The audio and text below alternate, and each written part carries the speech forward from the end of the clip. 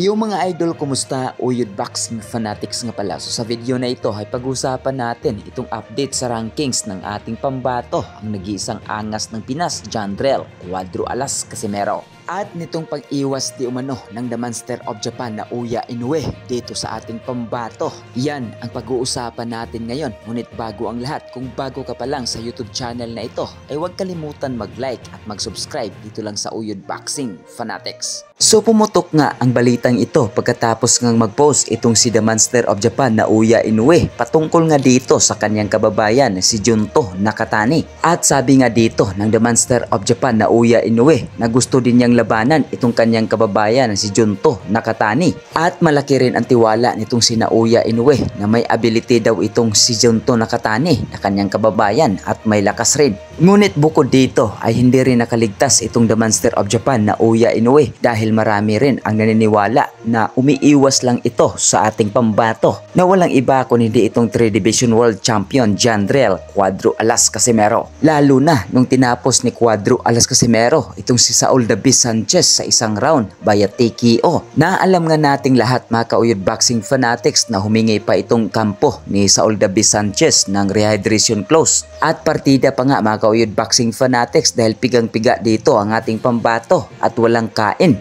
Isipin nyo mabuti mga kauyod boxing fanatics ha. Ano pa kaya kung 100% condition itong ating pambato? At magkatagpo ang dalawang landas nila nitong The Monster of Japan na Uya Inoue ay magandang bakbakan talaga ang maipakita nilang dalawa. finish, but the referee, I watching when when you do stop, okay, I kill him. But then that's why that's why I fan fan many many fans. Alright. But then, before the fight, did you actually plan to finish in one first round? No, uh, no, cause you know I know uh, what the name. Saul. I know Saul. No, no. In the last uh, in the last fight, yeah, no knock him out. No, Raul is always go to 12 rounds, 10, 10 rounds. This is the first time to knock out.